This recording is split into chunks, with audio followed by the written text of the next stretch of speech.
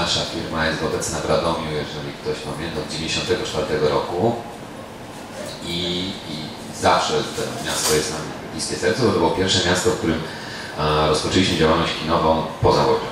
Tak, to, co nam się udało zrobić, to niewątpliwie, przynajmniej z naszego punktu widzenia, to więcej niż, niż remont. Była to, była to e, całkowita przebudowa strefy, strefy hallu.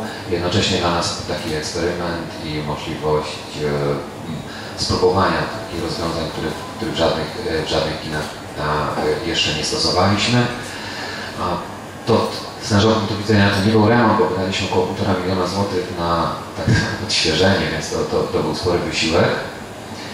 I mnie się bardzo podoba i, i, i mam nadzieję, że, że nie tylko Państwo, ale i widzą, widzą e, również.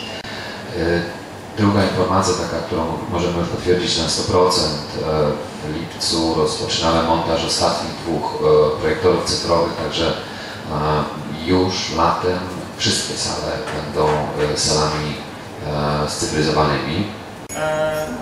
Podkreśliliśmy ciągi piesze, te najważniejsze, czyli główny ciąg wejściowy, drogę do kasy, drogę do kawiarni, e, takim, takim jak my to tutaj nazywamy sobie pasem startowym. E, to też jest rozwiązanie nowe, stosunkowo bardzo rzadko jeszcze wykorzystywane. Tutaj mamy troszeczkę inny gadżet, czyli gadżet, który polega na tym, że tak jak na iPodach, iPadach mamy więcej niż jeden punkt dotyku, przy czym to jest aplikacja, która ma tych punktów 20. Czyli możemy oczywiście wziąć na przykład, wybrać sobie jakiś trailer, powiększyć go w odpowiedni sposób, zobaczyć co się dzieje. Mamy zintegrowaną stronę internetową Heliosa, więc możemy też wybadać bieżący repertuar, zobaczyć co się dzieje w kinie.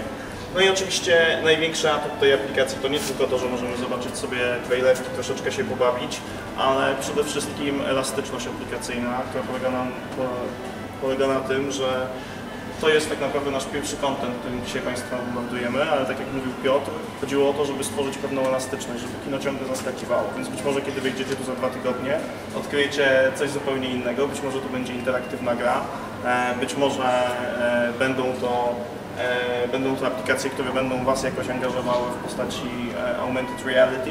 Będzie działo z dzieciakami, które będą biegać zarówno po tym elemencie i próbowały złapać jakąś tam rybę, prawda? Czy po interaktywnej podłodze. E, Mamy z tym trochę doświadczenia i w gruncie rzeczy nie chwaląc się skromnie powiem, że jednym z naszych głównych klientek są dyrektorki marketingu, które idąc z dzieciakami, przez takie 20 minut, które tam latają, biegają, rozsuwają różne rzeczy, czy kopią interaktywną piłkę, Całość remontu trwała 3,5 miesiąca. Zaczął się pod koniec lutego. Luty, pod koniec lutego tam z- zaczęliśmy prowadzić tu pierwsze prace.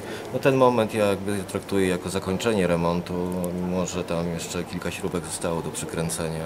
Nie wychodziliśmy zupełnie na zewnątrz. E, Jakby etapem e, takim, gdzie wyszlibyśmy na zewnątrz jest ewentualnie budowa szóstej sali i e, to co mówił prezes, możliwość no, ewentualna rozbudowy parkingu.